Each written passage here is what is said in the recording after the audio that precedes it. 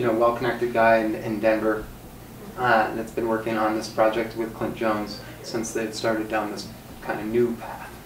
Um, so I don't, I don't know the answer to your question. And the Forest Service process is a really interesting one for the access.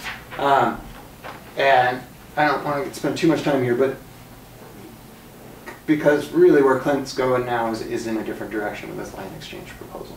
I think we should talk a lot about that. But, um, but it's important to recognize that uh, Clint keeps saying, you know, we can always go back to the old plan. We can always go back to the old access process. We'll do our EIS, uh, we'll get access, and we'll do the old plan. Uh, that's he's been really dishonest uh, when he says that. And I, and I think it's important for everyone to understand that. Because he's trying to say you can have the old plan or you can have a new plan. Um, that's, that's not true. The old plan can never happen, and I'll tell you why. Um, for, they could go back to the Forest Service and request uh, access. That's absolutely true, and they would likely get authorization of some sort of access. The Forest Service is required to grant access sufficient for reasonable use and enjoyment of a piece of private land.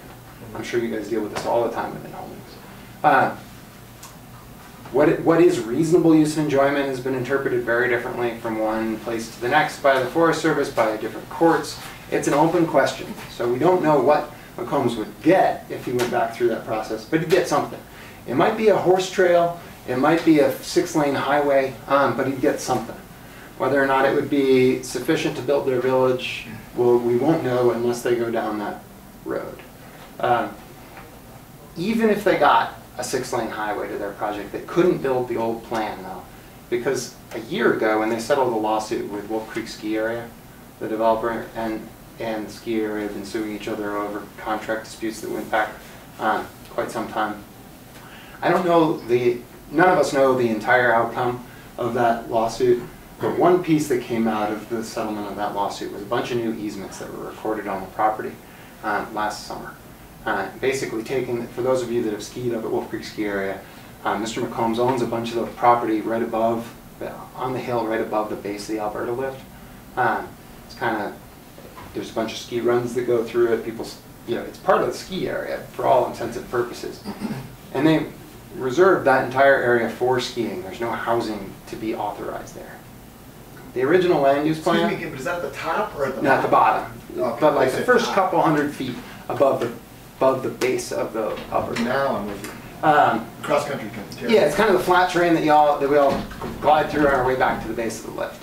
Um, or it's flat, relatively flat compared to the, the upper part of the mountain.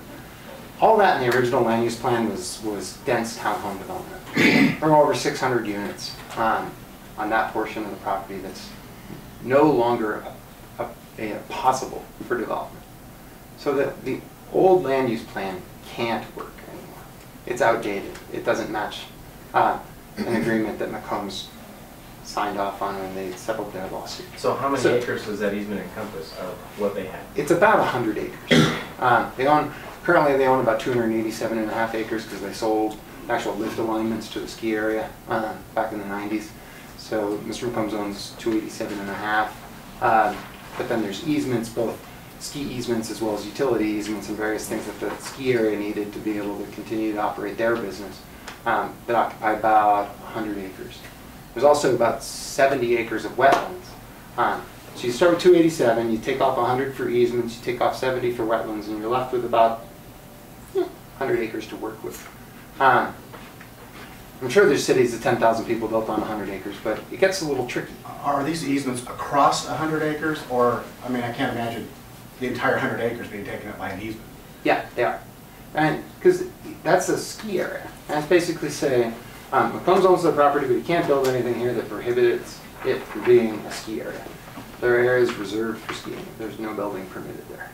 Um, There's other linear easements that are for utilities and things like that that are underground.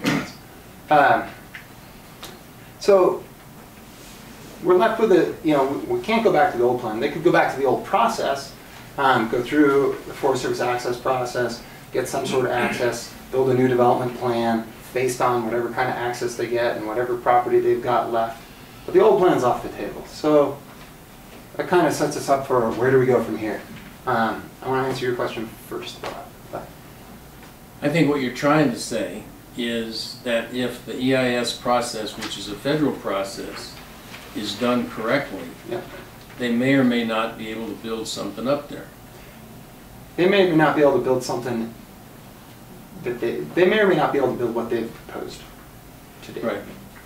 And I, I think a little historical note is in 1986, when this original deal happened, Reagan was the president. Correct. In 1986, I worked for HUD, and we were under a extreme pressure to approve a deal in Utah, which the staff didn't want to approve. And the regional administrator kept having meetings. But nobody had the courage to override the GS 13s and 12s that were in charge of, and actually an EIS and some other stuff. Yeah, So I can see why the original trade took place. sure. Then on, in 1999, Clinton was the president, and in 2000, from 2000 to 2008, well, 2001 to 2008, we were dealing with a different administration. Yeah, But I think what you're trying to say again is they didn't go through the proper EIS. And if you do the environmental impact, then you know what you actually could do. exactly. And you can take steps to fix the problems. You know, if you say, hey, this is gonna create a huge burden on Archuleta County for providing housing and schooling children that are gonna work at this facility and um, providing social services for these families that are not particularly high-paying jobs.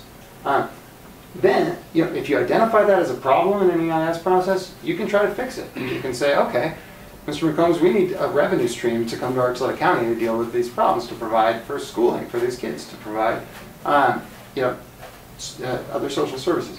But if you don't know what the problems are up front, it's really hard to negotiate a solution to them. Um,